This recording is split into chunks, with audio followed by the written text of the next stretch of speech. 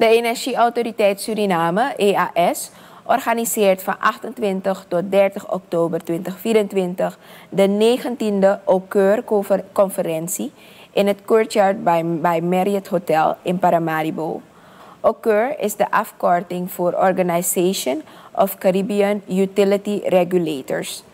Met het thema Right Sizing Regulatory Agencies, What is Needed, worden belangrijke kwesties in de nutssector, waaronder elektriciteit, water, ICT en telecom besproken. EAS-directeur Anand Kalpu benadrukt dat dit een kans biedt voor Suriname om te leren van regionale best practices.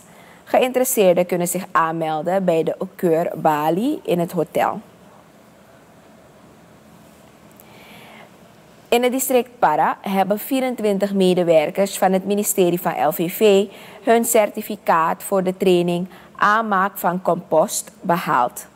Deze training richt zich op verhoging van de marcousa-productie in Suriname. De deelnemers leerden over het composteringsproces en de voordelen van compost.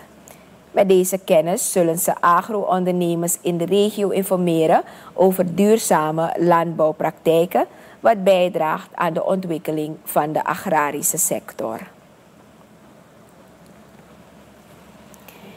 Het ministerie van Ruimtelijke Ordening en Milieu heeft op 21 oktober het ministerie van Grondbeleid en Bosbeheer bezocht om standaarden en richtlijnen voor landinrichting te presenteren.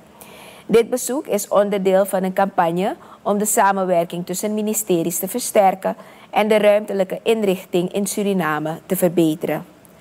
Voorheen ontbraken deze richtlijnen in veel sectoren.